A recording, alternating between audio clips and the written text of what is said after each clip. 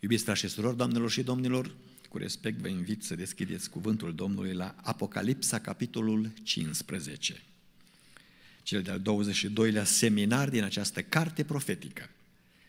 Este astăzi în capitolul 15, de la versetul 1 la 8, întregul capitol. Să ascultăm cuvântul lui Dumnezeu. Apoi am văzut în cer un alt semn mare și minunat. Șapte îngeri, care aveau șapte urgii, cele din urmă, căci cu ele s-a esprăvit mânia lui Dumnezeu. Și am văzut ca o mare de sticlă amestecată cu foc și pe marea de sticlă, cu alăutele lui Dumnezeu în mână, stăteau biruitorii fiarei, a icoanei ei și ai numărului numelui ei. Ei cântau cântarea lui Moise, robul lui Dumnezeu, și cântarea mielului și ziceau, Mari și minunate sunt lucrările tale, Doamne Dumnezeule Atotputernic. Drepte și adevărate sunt căile tale, împărate al neamurilor. Cine nu se va teme, Doamne, și cine nu va slăvi numele Tău?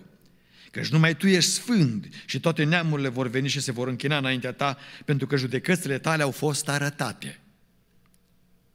După aceea, am văzut descăzându-se în cer templul cortului mărturiei. Și din templu au ieșit cei șapte îngeri care țineau cele șapte urgii.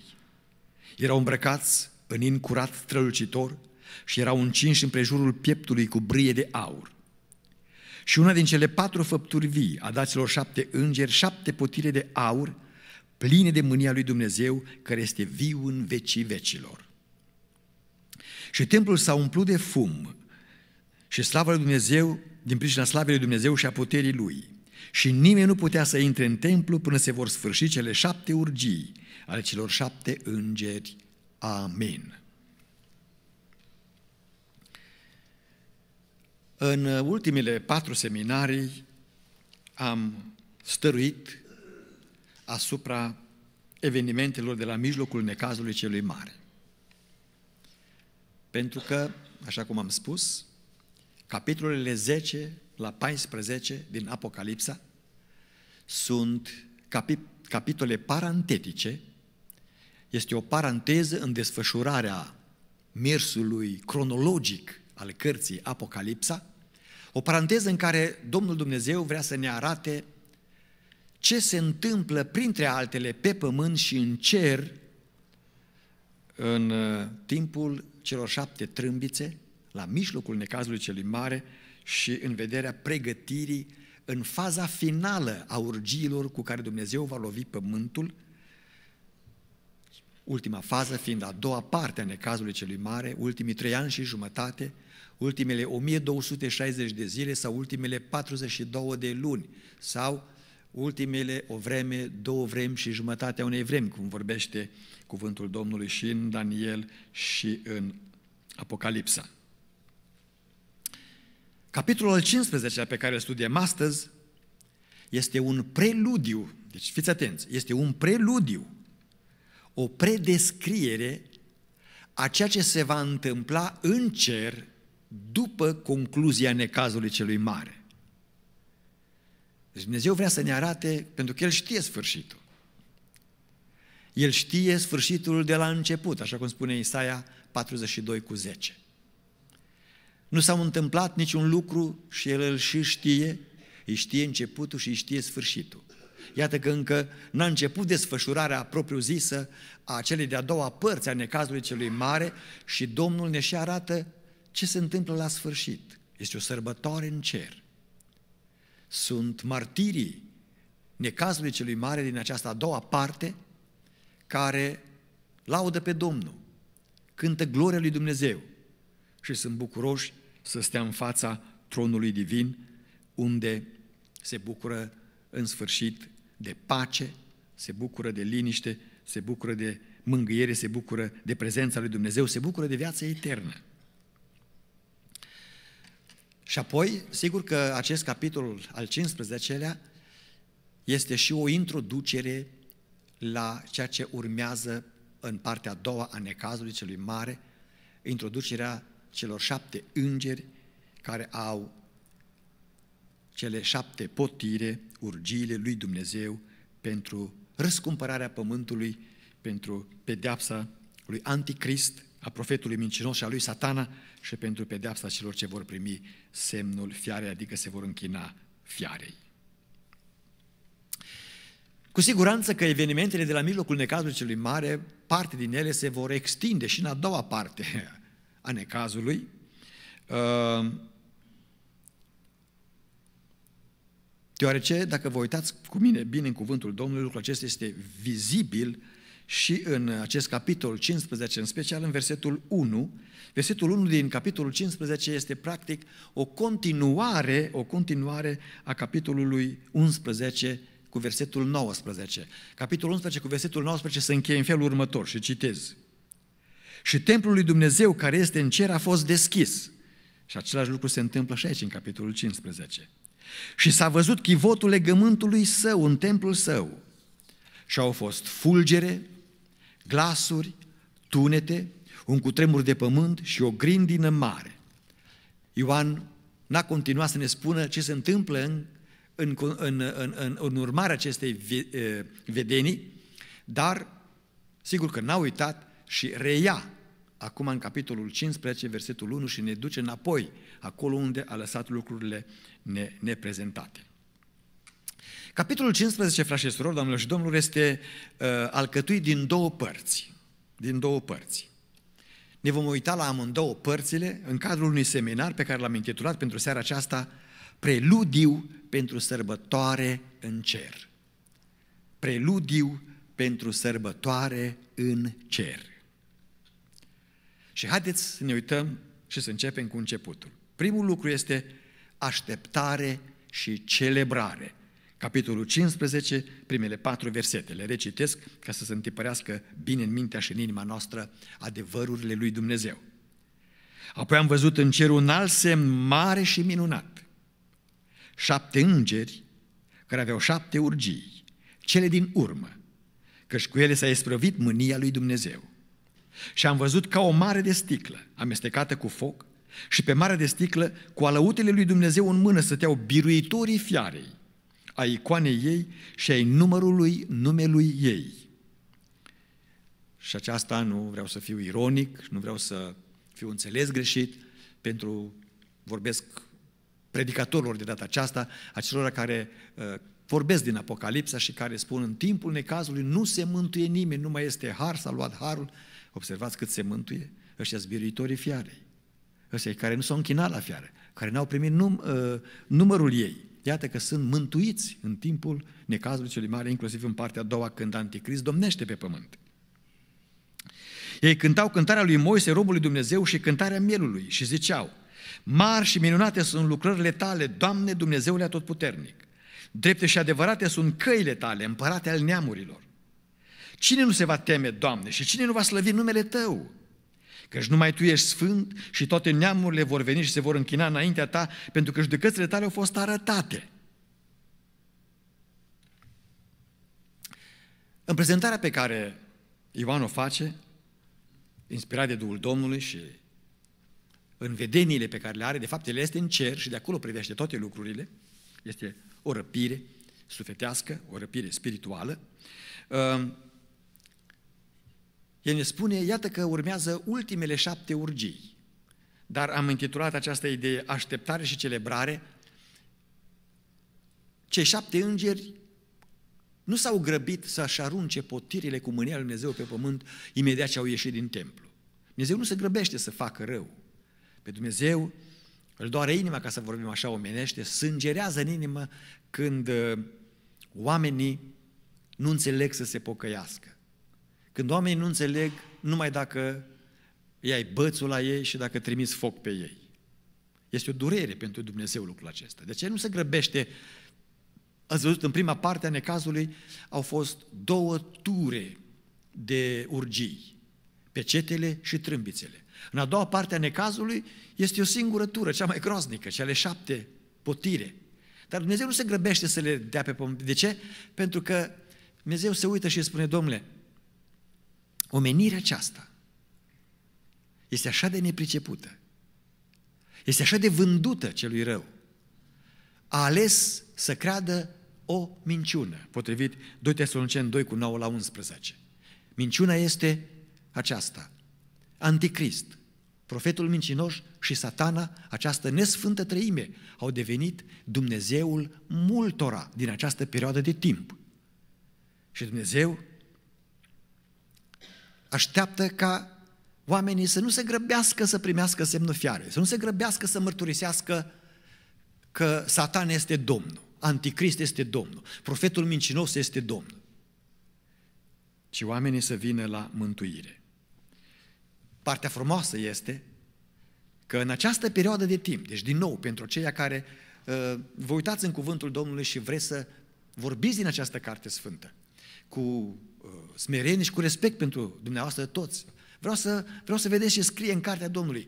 Cu toate urgiile care vin pe pământ și cu toate că în această a doua parte a necazului celui mare, uh, Anticrist domnește pe deplin. El este Domnul întregului pământ. Oameni se mântuie. Oameni se mântuie. Pentru că uitați ce spune aici cuvântul Domnului. Versetul 2. Și am văzut ca o mare de sticlă amestecată cu foc și pe mare de sticlă cu alăutele lui Dumnezeu în mână stăteau biruitorii fiarei.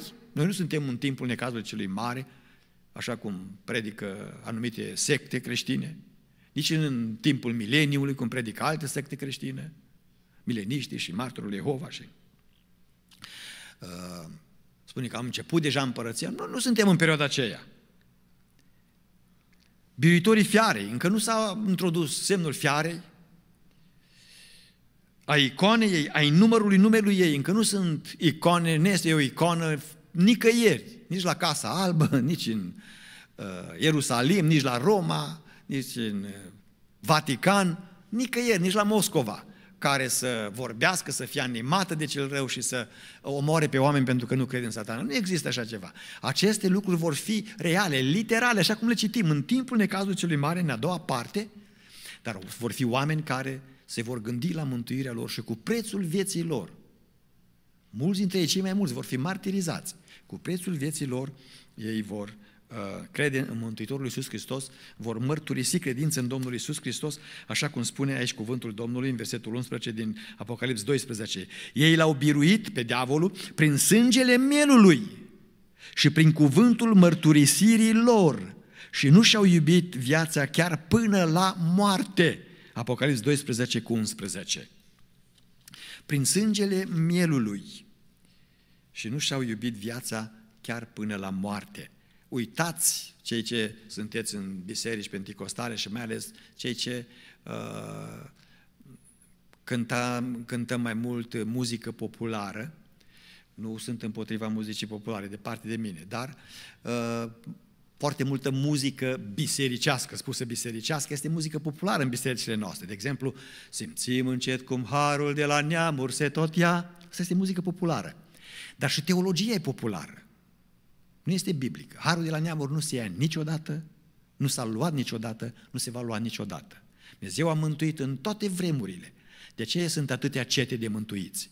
Și în fiecare ceată este un uh, întâi rod. Iată că și în timpul acesta, în necazului celui mare, oameni se mântuie. De ce se mântuie? Pentru că este Harul lui Dumnezeu pe pământ. Și acest Har al lui Dumnezeu restrânge puterea celui rău. Chiar dacă Anticrist este pe pământ și lumea spune, Tu ești Dumnezeul nostru, se vede cine e Dumnezeu. Adevăratul Dumnezeu este Cel din ceruri. Adevăratul Mântuitor este Isus Hristos.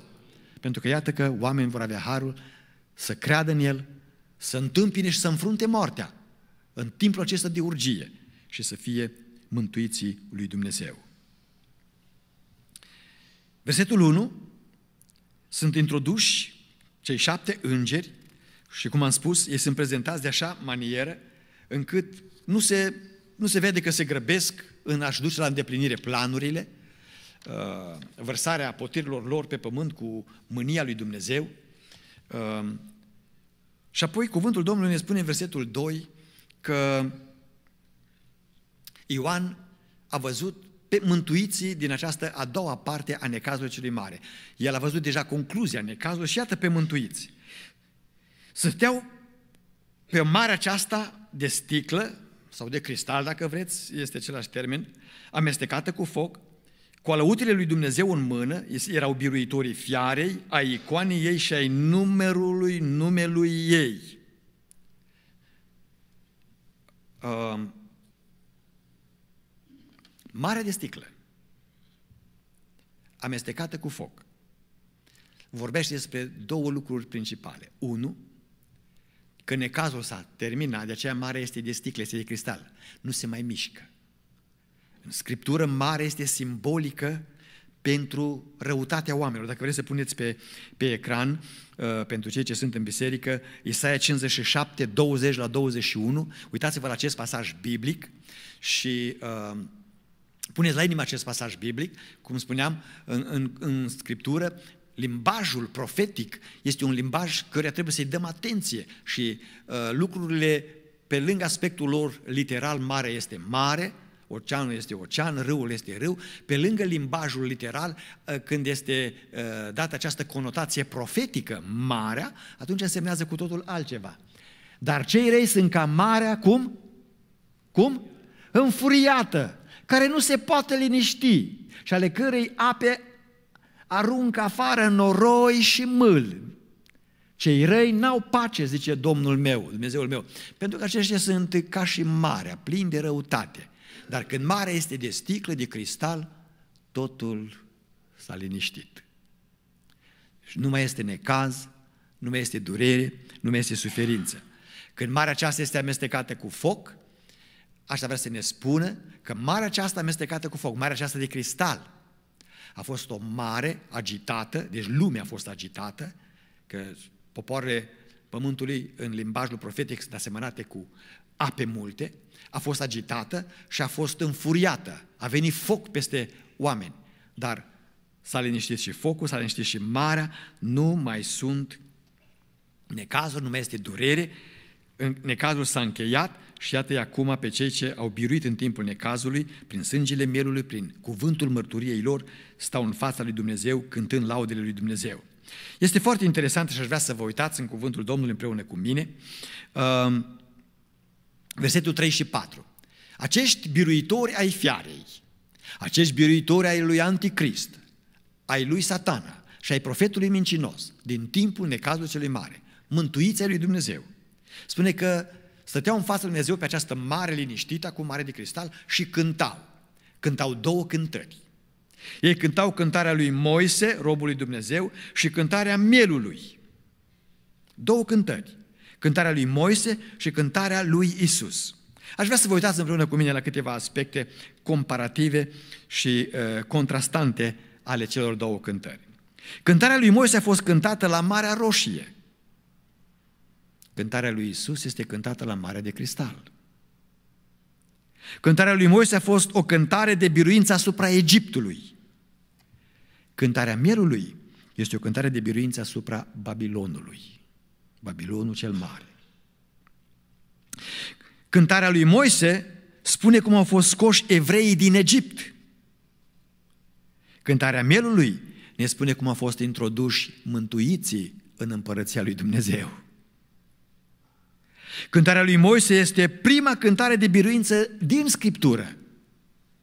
Cântarea mielului este ultima cântare de biruință din Scriptură. Amândouă cântările sunt cântate de oameni răscumpărați. Răscumpărați. Prima parte a cântării ne spune ce vor cânta răscumpărații Domnului. Deci prima parte a cântării acesteia ne spune ce vor cânta răscumpărații Domnului. Ia uitați ce cântări cântă. Ei cântă trei cântări. Ce mare ești, capitolul 15 cu versetul 3. Mari și minunate sunt lucrările tale, Doamne Dumnezeule Atotputernic. Ce mare ești! A doua cântare este Ce bun ești! 15 cu 3, partea finală. Drepte și adevărate sunt căile tale, împărate al neamurilor. Și a treia cântare, adică al treilea aspect al cântării este Ce glorios ești! Versetul 4 uh, din capitolul 15. Cine nu se va teme, Doamne, și cine nu va slăvi numele Tău? Dacă prima parte a cântării o cântă răscumpărații, a doua parte a cântării ne spune și o să cânte rămășița mielului. Partea finală a versetului 4, partea finală a versetului 4, Căci numai Tu ești sfânt și toate neamurile vor veni și se vor închina înaintea Ta pentru că judecățile Tale au fost arătate. Ei cântă sfințenia lui Dumnezeu, ei cântă faptul că și în această perioadă tulbure de timp, cea mai tulbure din istoria omenirii, n-a fost niciodată așa ceva, nici nu va mai fi, oameni încă se mântuie și ei cântă judecățile drepte lui Dumnezeu, că și într-o perioadă din aceasta în care oamenilor le s-a părut, mult, multora le s-a părut că toată puterea o are cel rău, Dumnezeu rămâne atot puternic. Mărit să fie numele Domnului.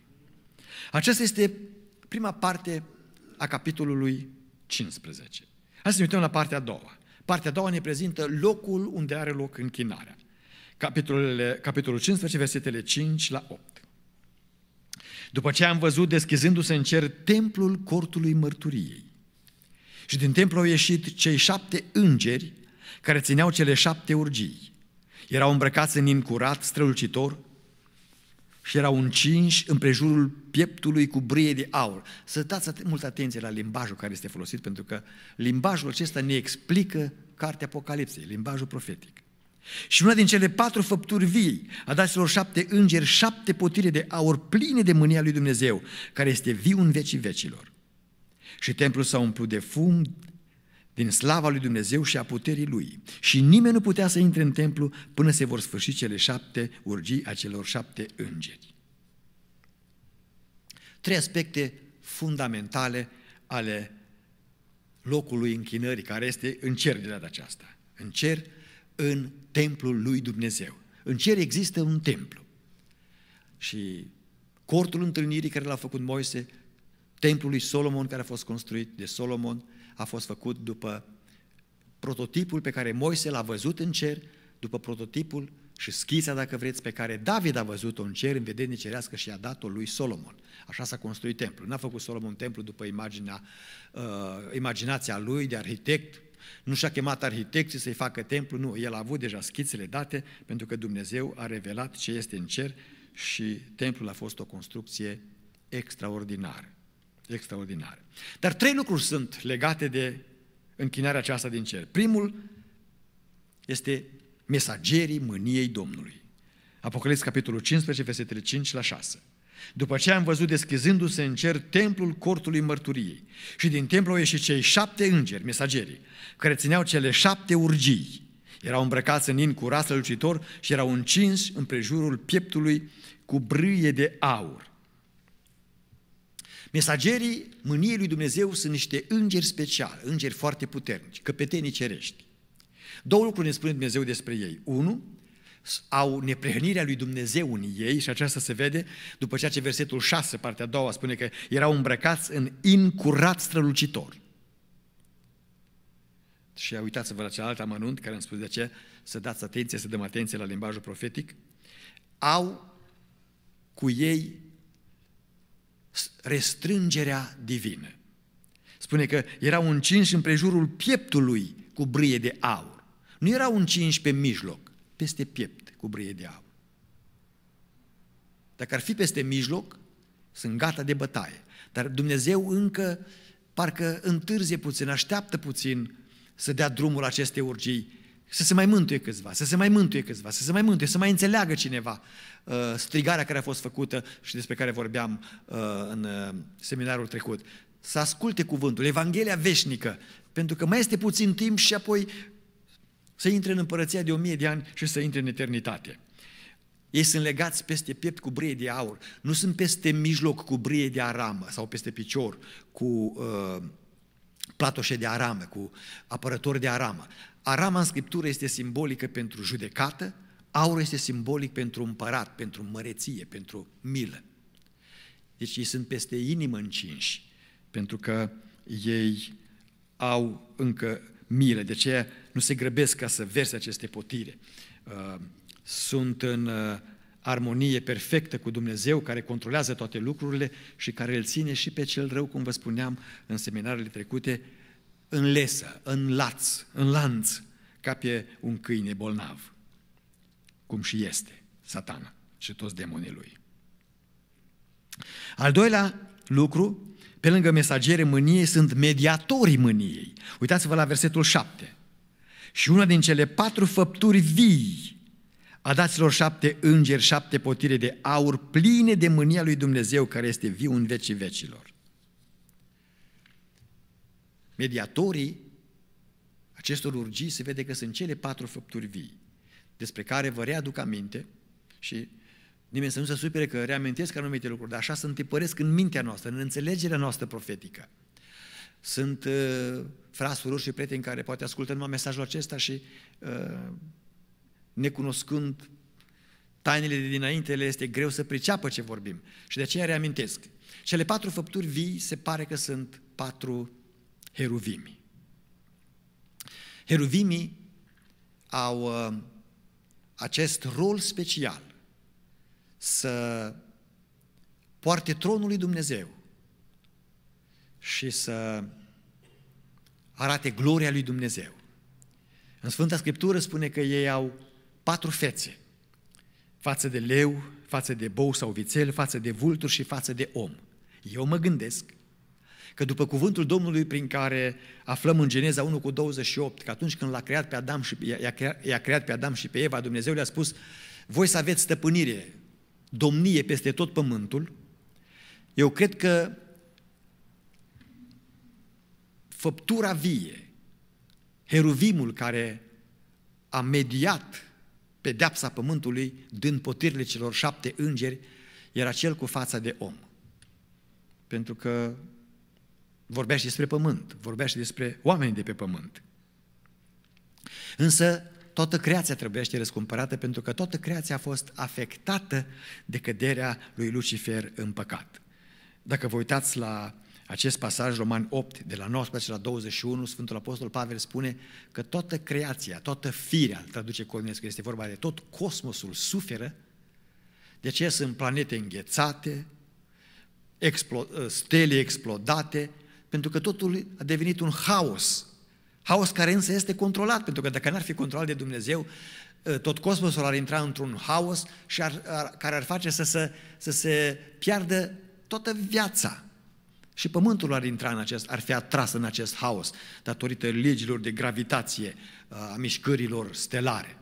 Dar Dumnezeu a dat legi pe care cosmosul le respectă, stelele stau încă în orbita lor, chiar dacă au explodat multe dintre ele, chiar dacă au înghețat, așteptând și gemând să fie schimbate, să fie înnoite. Și Dumnezeu va înnoi și cerul, când spunem cer, ne spunem la cosmos, la creație, și pământul. Așa spune în Isaia 65 cu 17, Isaia 51 cu 16, Apocalips 21 cu 1 și cu 5 spune, iată eu fac ceruri noi și un pământ nou. Mediatorii mâniei sunt, deci, acești heruvimi, unul dintre ei, cred că este cel care reprezintă omenirea și uh, în comentariile multor teologi, heruvimii uh, se pare, se pare că la, în forma inițială au fost cinci, Lucifer fiind unul dintre ei, așa cum spune în uh, Ezechiel, capitolul 28. Era un heruvim ocrotitor, deci unul care uh, era deasupra tronului lui Dumnezeu, ca, făcea ca o canopie, ca un cer, ca o protecție peste tronul lui Dumnezeu. Și uh, dacă ne, vă uitați uh, la cele patru făpturi vii, acei uh, patru heruvim, spune că unul are înfățișare, unul are față de leu. Este probabil heruvimii au primit și controlul asupra lumii uh, cu viață de pe pământ, om și animale. Leul, care este uh, simbolul regal al animalelor sălbatice, are un reprezentant acolo. Boul este cel mai puternic dintre animalele domestice, are reprezentant acolo. Vulturul este cel mai mare dintre păsări, păsările cerului. Zboară cel mai sus, cel mai puternic, are reprezentant acolo. Omul este stăpânul uh, pământului, lipsește o categorie de animale. Care lipsesc? târătoarele, șerpii. Ei n-au reprezentant. Se pare că Lucifer a fost reprezentantul lor, căpetenia lor, când a creat Dumnezeu animalele pământului. De aceea, Lucifer, transformându-se în satana, în adversarul, după ce a căzut, arătarea lui este sub formă de șarpe și sub formă de balaur. Probabil că aceasta era una din fețele lui. Dar acum, vorba românului, uh, are mai multe fețe și niciun obraz, pentru că este necurat, este spurcat. Uh, el va fi aruncat definitiv în lacul de foc și de pucioasă. Mediatorii mâniei sunt heruvimi. Și apoi, ultimul aspect, manifestarea propriu-zisă a mâniei. Versetul 8. Și templul s-a umplut de fum din slava lui Dumnezeu și a puterii lui. Și nimeni nu putea să intre în templu până se vor sfârși cele șapte urgii ale celor șapte îngeri. Cuvântul Domnului ne spune în acest verset, ca să-l traduc pe înțelesul nostru tuturor, că în ceruri, acolo în templul lui Dumnezeu, în templul cel real, și acolo este locul sfânt și locul preasfânt, Sfânta Sfintelor. În locul preasfânt a intrat Iisus Hristos ca mare preot, pentru că în locul preasfânt pe pământ putea odată pe an să intre numai marele preot, cu jerfă de animal, pentru că dacă nu intra el însuși curat, era omorât acolo în locul preasfânt. De aceea, când intra, intra legat de picior cu o frânghie, pentru că nimeni nu putea să intre în locul prea sfânt. În caz că nu era sfințit, era lovit cu moarte acolo în fața chivotului mărturiei și trebuia să fie tras cu frânghia, uh, scos afară de acolo de către leviți. Iisus Hristos a intrat în locul prea sfânt în cer ca să facă ispășirea noastră. A stropit cu sângele Lui în locul prea sfânt și cuvântul Domnului ne spune și astăzi prin Sfântul Apostol Pavel în 1 uh, Timotei 2 cu 5 că este cel ce mijlocește între om și Dumnezeu. Puneți acest text pentru că este foarte frumos și mă gândesc că prietenii care ne urmăresc și care se roagă, acum ați văzut și Papa Ioan Paul al II-lea a fost trecut în rândul sfinților și credincioșii romano-catolici sunt încurajați să se roage lui Dumnezeu, să se roage lui Papa Ioan Paul al II-lea, Sfântului Papa Ioan Paul al II-lea, ca să aibă milă de ei și să uh, mijlocească pentru ei înaintea lui Hristos. Uh, credincioșii ortodoxi și creștinii ortodoxi au de asemenea o mulțime de sfinți, o mulțime de moaște uh, la care se roagă. Sfinții au fost sfinți și când au murit s-a încheiat cu sfințenia lor. Memoria lor sfântă rămâne, dar nu pot să facă nimic. În cuvântul Domnului ni se spune, în 1 Timotei, capitolul 2, versetul 5, că este un singur mijlocitor între om și Dumnezeu. Unul singur. Cine este acesta? Omul Iisus Hristos. Dacă este unul singur, dragii mei, nu puneți doi, nici trei, nici pe Fecioara Maria, mama Domnului Iisus Hristos, că nu este mijlocitoare. A fost o muritoare ca tine și ca mine, a trăit o viață sfântă. A avut harul cel mai mare care l-a avut o femeie, o mamă pe pământ, să nască pe Fiul lui Dumnezeu, dar a trebuit și ea să se mântuie, să se boteze, să fie botezată de Domnul cu Duhul Sfânt, să asculte cuvântul lui Dumnezeu. Singurul mijlocitor este Isus Hristos. Și acum ce ne spune cuvântul Domnului? În această a doua parte a necazului celui mare, Iisus Hristos va ieși din locul preasfânt, va umplea întreg templul ceresc de gloria Domnului și nimeni nu va mai putea să intre în templul Dumnezeu ca să facă mijlocire. De aceea, cei ce au primit semnul fiarei nu vor avea niciun sprijin, niciun sprijin, ca să-i mai reprezinte cineva. Și de aceea, judecata lui Dumnezeu va fi împotriva lor o judecată extrem, extrem de aspră. Dumnezeu va lăsa pământul să cadă sub ceea ce și-a, pământul și-a ales, să fie condus de o fiară, cum vă spuneam mereu, după teologia evoluționistă, omul se trage din animale. Și nu vor să renunțe pentru că e la modă, nu vor să renunțe la această uh, teologie falsă numită pe nedrept știință, este o idioțenie, nu este știință deloc, și Dumnezeu va spune, va trebui un animal, o fiară, ei, acum o fiară pun peste voi, pe anticrist. Să vedem cum vă descurcați. În concluzie, când Domnul ne-a mântuit, frați și surori, doamnelor și domnilor, Iisus Hristos murea pe Golgota.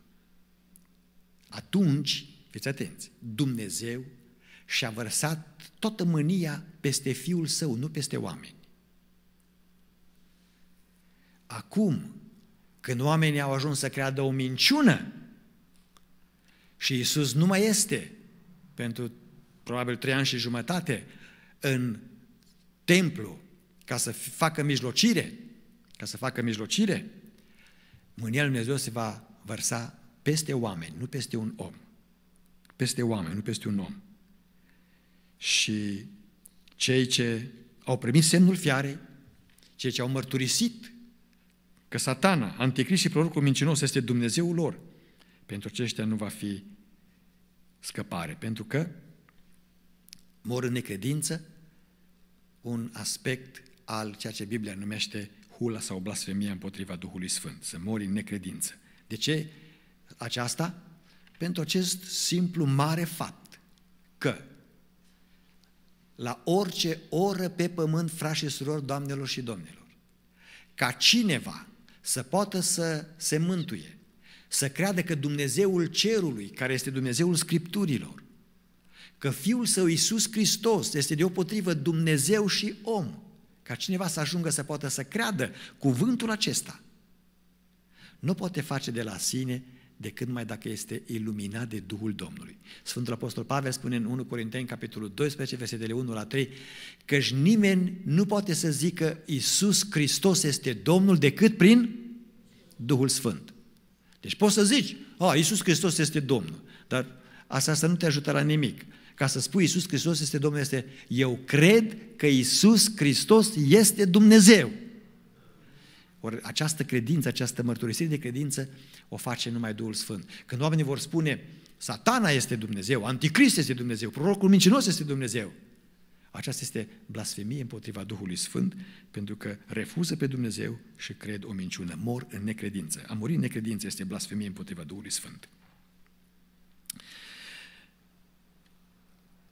Și acum două lucruri pentru concluzia noastră. A muri în necredință este o blasfemie împotriva Duhului Sfânt și este un păcat care nu se poate ierta niciodată. Așa a rânduit Dumnezeu și noi trebuie să spunem da la ce a rânduit Dumnezeu. Dar să vă mai spun ceva. Pentru cei ce suntem în biserică, deci pentru noi toți.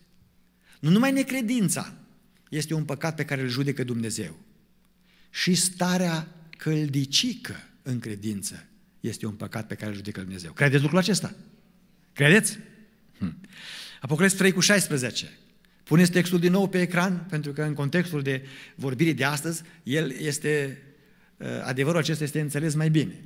Dar fiindcă ești căldicel, nici rece, un om care e rece e un om care este necredincios. La acesta când îl expui în fața cuvântului, îl poate cerceta Duhul Sfânt și se poate trezi. De aceea spune că nu, nu, nu este bine să fii rece, dar vrea să spune că unul necredincios, unul rece, adică mort în păcat, și mortul, mortul e rece, nu? N-ați văzut morți calzi, morții sunt reci, nu?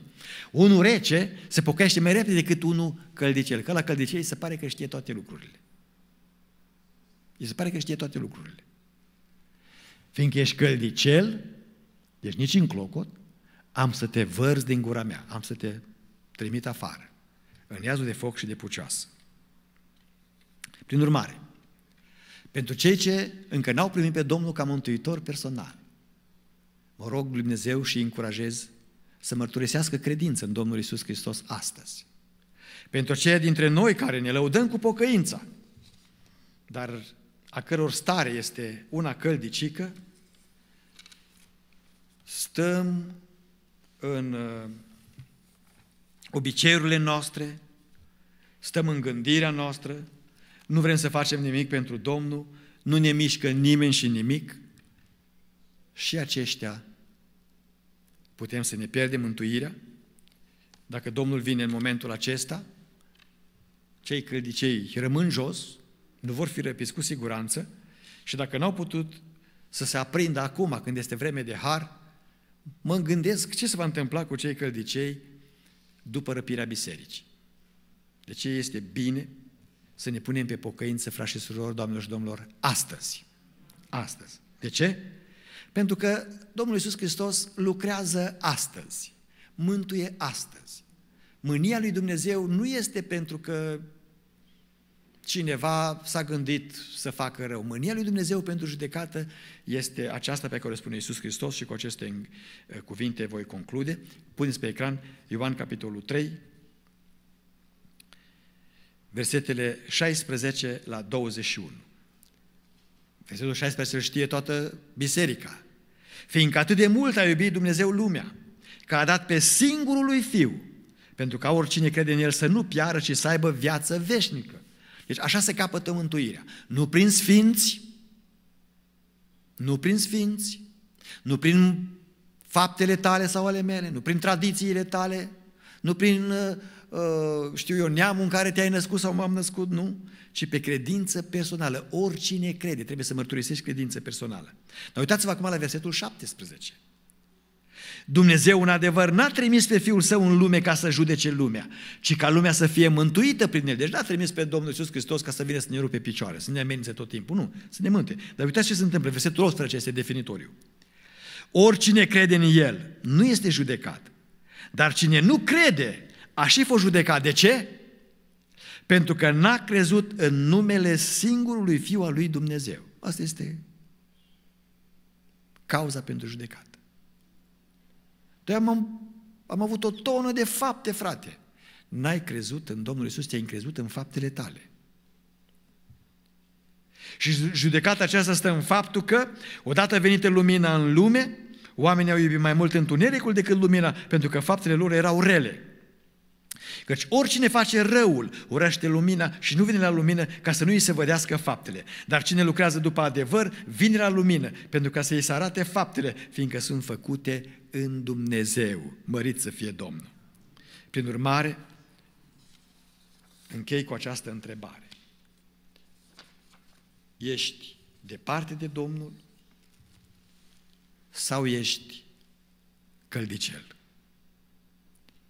Cuvântul Domnului este pentru noi, chiar dacă vorbea și despre lucruri care vor veni, în acest aspect al credinței este pentru noi din generația aceasta. Să rugăm pe Domnul, să lucrăm fiecare în dreptul nostru, să se aprindă dragostea lui Dumnezeu în noi, să se aprindă râvna pentru Domnul în noi, să se aprindă rugăciunea în noi, să se aprindă dragostea pentru casa Domnului în noi, să se aprindă dragostea pentru cuvântul lui Dumnezeu în noi, să se aprindă dragostea pentru părtășia frățească în noi, să se aprindă dragostea pentru Domnul în noi. Atunci suntem ai Lui. Și vă rog Domnului să fim cu toții ai Lui. Amin.